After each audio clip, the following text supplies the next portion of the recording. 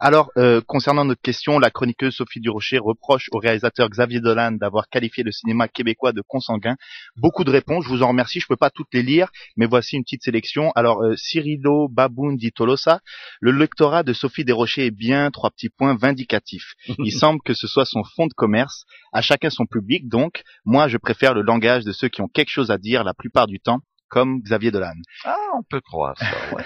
Éric Paquin, euh, je n'avais pas besoin de Xavier Dolan pour savoir que Sophie Durocher est une démagogue qui exploite les complexes de coloniser de certains Québécois, mais je trouve qu'il a bien fait de l'exprimer. La question que je me pose, c'est pourquoi ne profite-t-elle pas de la tribune que lui offre un grand quotidien pour faire de la vraie critique cinéma en recourant au langage propre à ce médium artistique et ainsi élever le niveau en s'adressant à l'intelligence de ses lecteurs? Ce serait bon pour le cinéma québécois.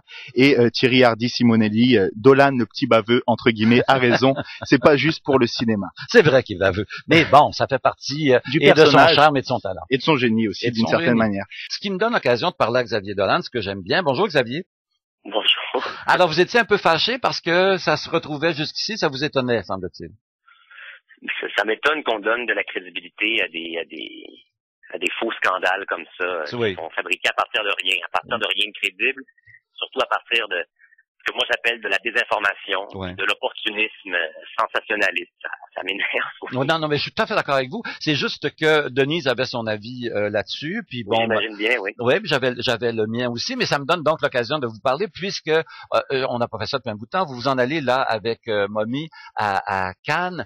Euh, Oui, alors permettez-moi de revenir sur la polémique Sophie Durocher, Xavier Dolan, qui enflamme le Québec depuis une semaine. Bon, en fait, non, là, rien n'enflamme le Québec depuis des années, à part l'émission La Voix. C'est bien un des nombreux problèmes du Québec, mais là n'est pas le sujet de ma chronique. Donc, pour ceux et celles qui ne liraient pas le Journal de Montréal, d'abord, je vous félicite. Et... Deuxièmement, je vais vous résumer un peu la dite polémique. Vous allez voir, c'est franchement très, très divertissant. Alors, ça commence par une entrevue de Xavier Dolan euh, accordée à une journaliste française. Non, ce n'était pas Sophie Durocher, mais plutôt le magazine Paris Match en compagnie de Nicolas Sirkis du putride groupe Indochine. Dans l'entrevue, on en vient à discuter de la petitesse du marché québécois et Dolan se désole des 40 000 entrées de son film Laurence Anyways, alors qu'Avatar a fait 2 millions d'entrées au Québec, mais il n'y avait pas de bonhomme bleu dans Laurence Anyways, soit dit en passant. Donc, Dolan, dans Paris Match, qualifie euh, le marché québécois de marché de consanguin. Évidemment, Sophie Durocher ne le prend pas, se sentant sûrement visée, profite de cette tribune pour bien sûr varloper Dolan, un artiste subventionné en plus. Dolan réplique à Durocher et prétend que l'expression consanguin voulait simplement illustrer la petitesse du marché québécois et que Durocher n'avait pas à faire de la démagogie sur son dos pour vendre de la copie. Une grosse semaine qu'on a eu, mes amis. Durocher en a rajouté euh, ce matin en qualifiant Dolan de petit prince parce qu'il est incapable de prendre la critique et comme d'habitude, elle prétend que Dolan l'a attaqué personnellement. Plus prévisible que Sophie Durocher, tu t'appelles Richard Martineau.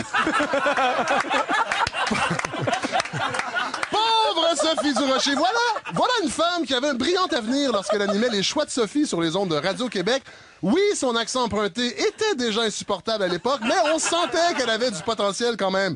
Mais on ne sait pas ce qui s'est passé. Elle a rencontré Richard et probablement tombé dans le même trou noir idéologique et en est ressortie comme son époux, complètement jambonifié. Certains prétendent qu'elle a tout simplement bu du Kool-Aid québécois qui transforme instantanément la personne en larbin de service. Regardez ce qui est arrivé à Guy Fournier. J'aimerais, j'aimerais dire que Dolan a raison. Le Québec est de plus en plus un peuple de consanguins. Il n'a pas à s'excuser. Je dis cela sans être un fan de Dolan. hein. Je n'ai vu qu'un film de lui, Tom à la ferme, et je me suis un petit peu emmerdé. Et comme des millions de Québécois, je n'ai pas vu euh, Laurence Anyways, et pourtant, je ne me considère nullement consanguin, bien que j'ai vu et beaucoup aimé le film Deliverance. Mais, je le répète, Deliverance, c'est un film pour les plus jeunes. Vous allez voir ça sur, euh, sur Wikipédia. Mais je, il y a du banjo. Mais je le répète, Xavier Dolan a raison. Nous sommes entourés de consanguins. Quand le Journal de Montréal est le journal le plus lu au Québec, on peut dire que oui, nous sommes entourés de consanguins.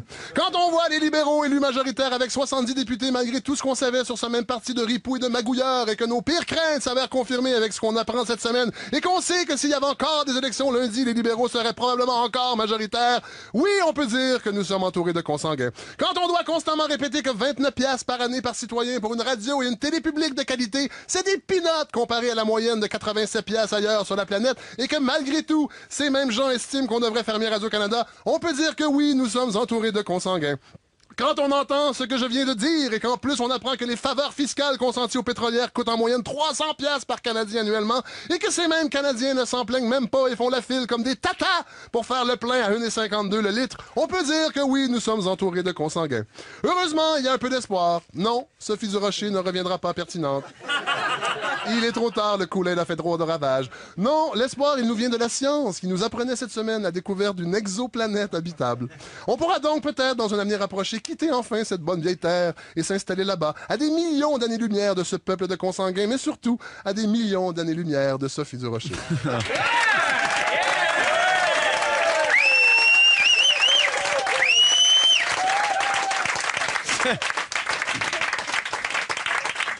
Fait que, euh, elle nous aima pas. Non! Elle nous aimera pas plus.